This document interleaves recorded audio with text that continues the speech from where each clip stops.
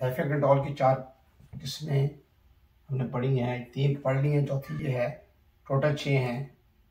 Automatic expansion valve thermos expansion valve low shell float valve high shell float valve hand expansion valve और कैपिटू ये high shell float वाल है।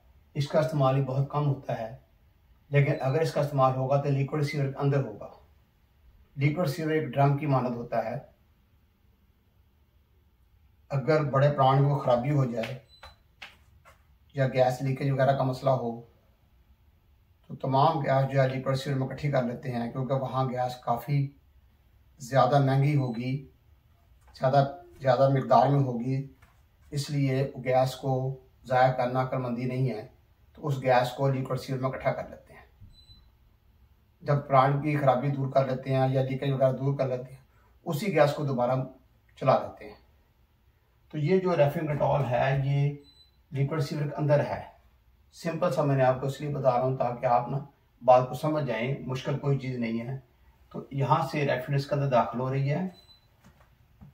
चंद बुखारात ऊपर होंगे, बाकी सारा लिक्विड होगा। जिस वक्त इसमें रेफ्रिजरेंट दूर से ज़्यादा आ जाए तो ये फ्लोर वाल ऊपर होगा, रास्ता खुलेगा और यहाँ से रेफ्रिजरेंट या रेपटो को चली जाएगी।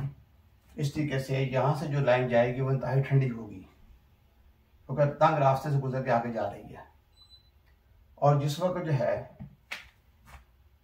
यानी ऐसा है कि रेफरेंट कम होगी तो फ्लोर नीचे आ जाकर रास्ता तंग हो जाएगा।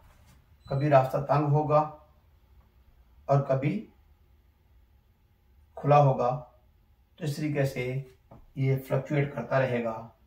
अगर हम प्राण को बंद कर दें, प्राण को बंद कर दें तो फिर क्या होगा कि यहाँ से रेफरेंट का जान, रास्ता जो है वो जाना बंद हो जाएगा। तो जहाँ पर सिस्टम है, वहीं पर वहीं रह जाएगा।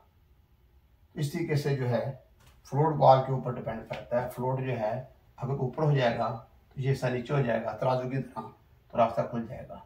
अगर फ्लोट नीचे होगा तो ये ऊपर हो जाएगा, इस तरीके से ये काम करता है। इसका इस्तेमाल भी बहुत कम है।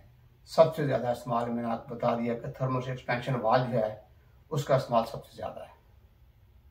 अगला हमारा मौजूद होगा हैंड एक्सपेंशन वाल वो उसके बारे में भी आपको समझाते हैं।